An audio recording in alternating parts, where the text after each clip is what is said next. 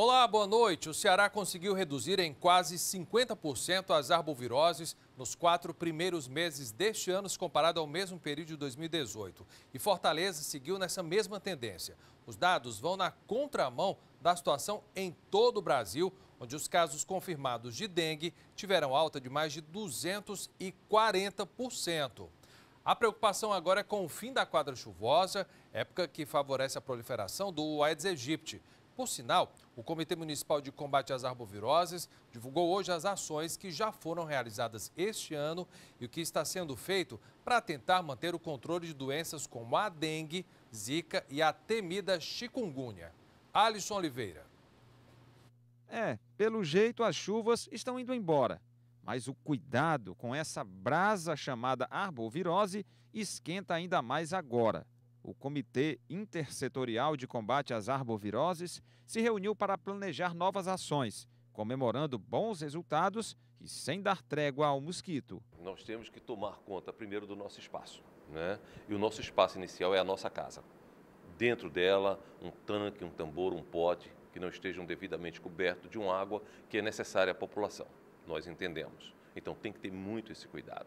E depois o seu quintal né, onde tem um cenário imenso de riscos, né, onde o brasileiro tem muito costume de armazenar as coisas, pensando que um dia irá precisar e vai colocando no quintal.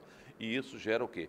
Foco de, de insetos, né, de outros né, é, artrópodes, assim vamos dizer, né, outros animais que possam causar problemas, inclusive também criadores de Aedes aegypti. Enquanto muitas capitais no país registraram aumento no número de casos de arboviroses, Fortaleza foi no lado oposto e conseguiu reduzir historicamente os casos de chikungunya, dengue e zika.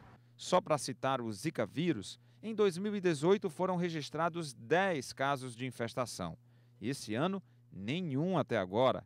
Mas atenção, a Secretaria de Saúde alerta que com a diminuição do volume de chuvas, começa o período vulnerável à circulação dos focos do mosquito. Esse ano foi um ano atípico com relação à quadra invernosa ela começou precocemente e também é uma quadra invernosa muito intensa. Então, quando você tem chuvas diárias, elas fazem uma lavagem dos criadouros.